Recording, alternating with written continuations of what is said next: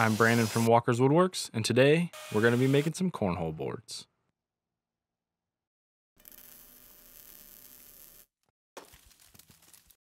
I actually bought the plywood for the top pre-cut at 2 foot by 4 foot, which is the size of a regulation cornhole board. First I needed to cut the boards I was going to use for the frame. I used 1x4 common boards from a local home store, and I cut enough for two sides, top, the bottom, and one brace in the center, the same size as the top and bottom pieces.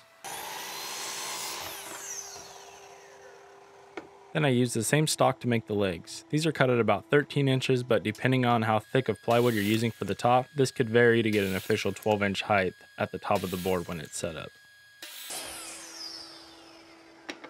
For the angles on the legs, I measured up from the bottom corner about an inch and a half on one edge and then drew a line from that point to the opposite corner.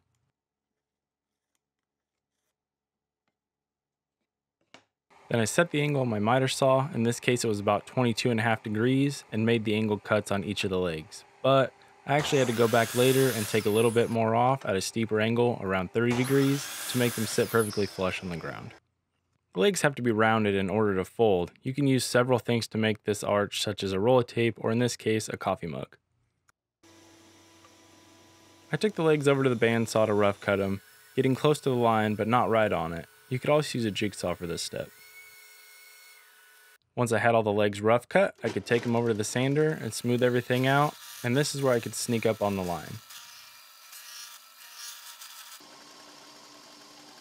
I found the center of the board that hadn't been rounded over yet, marked two spots, and then used that as a reference when marking the hole location for the bolt that holds the legs on.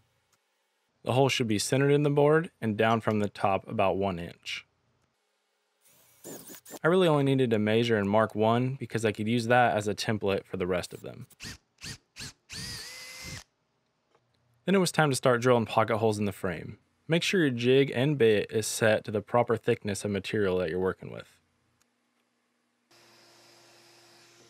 I drilled two pocket holes in each end of all the cross braces.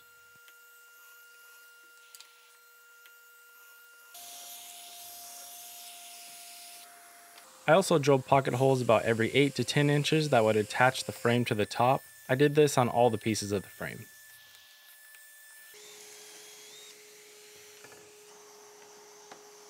Once all the holes were drilled, I could assemble the frame. I used screws along with some waterproof wood glue to secure it all together.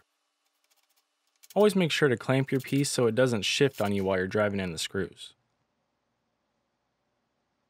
While I'm assembling this, if you're new to the channel, please consider subscribing and hitting that notification bell if you want to be notified when I drop new videos. I will also link all the tools and products I use in this video in the description below for you guys.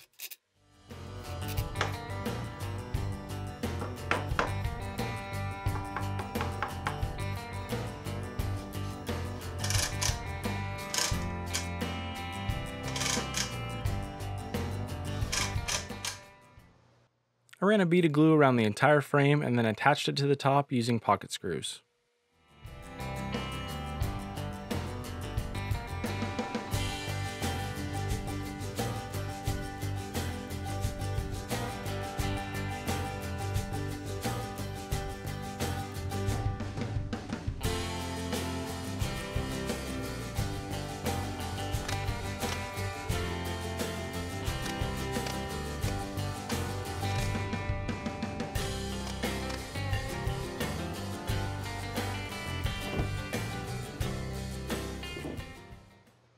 Then it was time to mark where the hole was going to be. It needs to be 12 inches from the edge and 9 inches down from the top.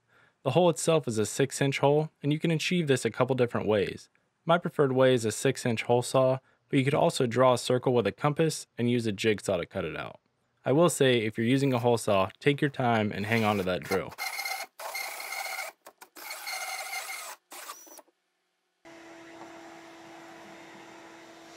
I use a mini roundover bit on my router to clean up all the sharp edges, but you could achieve the same thing with some sandpaper.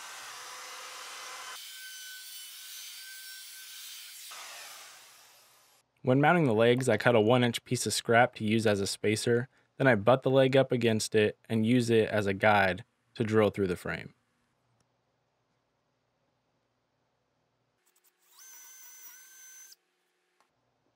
I just use regular 3 inch bolts on this set, but I've also used carriage bolts in the past, and I say they probably work a little better, and I'll probably use those from now on.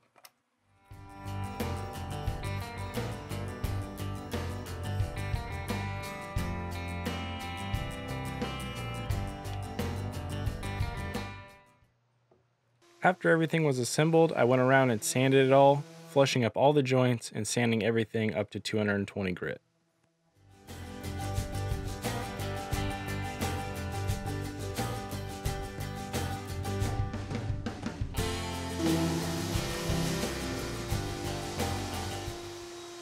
I broke over all the edges with the mini roundover bit that I used earlier in the holes.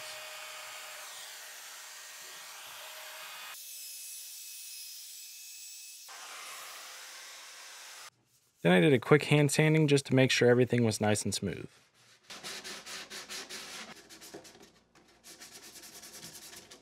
For this particular set, the client wanted a dark stain. I always apply my stain with a foam brush and then wipe it off with a clean t-shirt or similar material rag. It seems to work best without leaving a bunch of lint behind. Oh, and as you may have noticed, I took the legs back off just so I could get in all the spots that needed to be stained.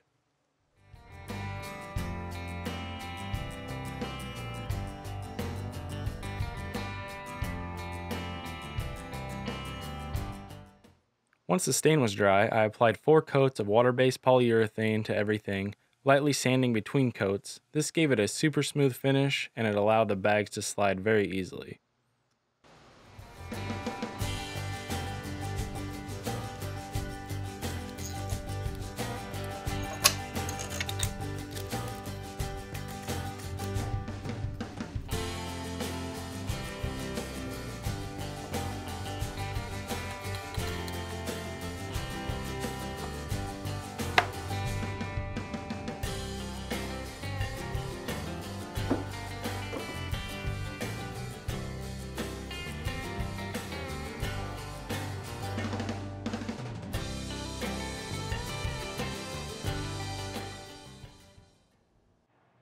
Thank you guys for watching. That's how I make cornhole boards. This is a pretty simple set, but you can pretty much customize it to however you'd like. I've seen people do their name, team logos, crazy colors, all kinds of stuff.